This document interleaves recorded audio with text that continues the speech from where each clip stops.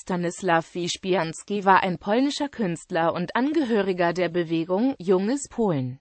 Während eines Studienaufenthaltes in Paris wurde er durch den Art Nouveau beeinflusst, aber auch durch die Begegnung mit Künstlern aus dem Kreis um Paul Gauguin. Ebenso wurde er wahrscheinlich über Stanislaw Przybyszewski mit der Malerei des Norwegers Edvard Munch bekannt gemacht. Wyspiański war als Maler und Zeichner tätig und entwarf Ornamente, Bühnendekorationen und Glasfenster. Zu letzteren zählen beispielsweise die Fenster der Franziskanerkirche in Krakau. Darüber hinaus verfasste er mehrere Theaterstücke, in denen er Themen aus Mythologie und Sagen, aber auch aus der polnischen Geschichte verarbeitete. Die Werke Wyspianskis sind heute in vielen polnischen Museen zu finden, unter anderem im Wyspiański Museum in Krakau. Wesele Sein wohl bekanntestes Stück ist Wesele von 1901. Dieses basierte auf der im Jahr zuvor tatsächlich stattgefundenen Hochzeit seines Freundes. Lucian Reidel mit einer Bauerntochter aus einem Dorf bei Krakau und rief bei seiner Uraufführung einen Skandal hervor. 1973 wurde Wesele von Andrzej Wajda verfilmt.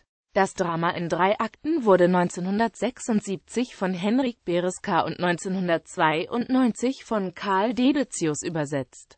Im ersten Akt treffen sich in der Bauernhütte die einfachen Bauern mit den Künstlern aus der Krakauer Bohem.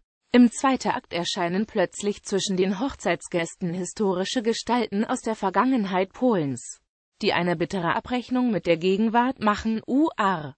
Der Hofnarr der polnischen Könige Stanczyk, der verräterische Großhetman der polnischen Krone Franciszek KSA Branicki. Der legendäre schwarze Ritter Zavis Acani von Gabo, der Anführer des blutigen Bauernaufstandes 1846 Jakubs Celar der legendäre ukrainische Prophet Werni Hora und der früh verstorbene polnische Maler Ludwig de la Vaux. Der Hausherr ruft zum Volksaufstand auf, aber der Dorfjunge verliert das von Werni Hora gebrachte goldene Zauberhorn.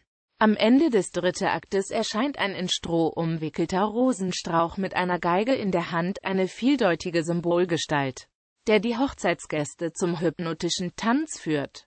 Ganz unerwartet wurde das Stück, das ursprünglich für den engsten Kreis der Freunde aus der Krakauer Bohem bestimmt war, zu einem der wichtigsten Dramen der polnischen Literatur, die virtuos geführten Dialoge wurden zur Quelle noch immer gebräuchlicher Redewendungen. Allein schon die ersten Worte Kostam, Pani, we politice, Chinsiki Tachimaya Simokno werden oft zitiert. Werke, Theaterstücke Wasawianka, Weimar 1829 Wesele, die Hochzeitdrama in drei Akten. Aus dem Polnischen übertragen und herausgegeben von Karl Dedecius, Frankfurt am Main. Die Hochzeitdrama in drei Akten. Aus D. Poln. Übers U. Nach Dichtung von Henryk Bereska. Mit T. Essay von Tadeusz Bojelenski. Mit Farbfotos aus dem Film Die Hochzeit von Andrzej Wajda.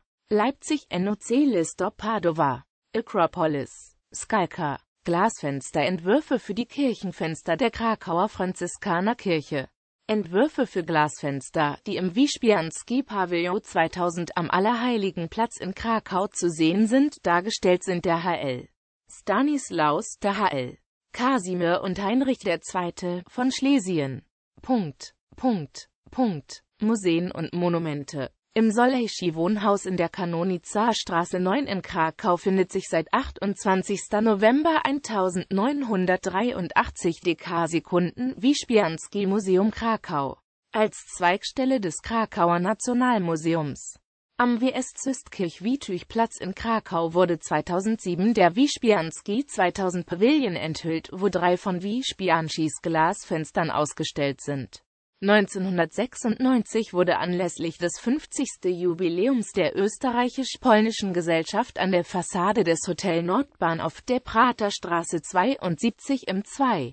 Wiener Gemeindebezirk Leopoldstadt eine Gedenktafel für Stanislaw Wyspiański enthüllt, die an Wyspianskis Verbindung zur Wiener Sezession und sein Aufenthalt im Hotel Nordbahn im Sommer 1904 erinnern soll wo Wyspiański sein dramatisches Fragment Weimar 1829 verfasste.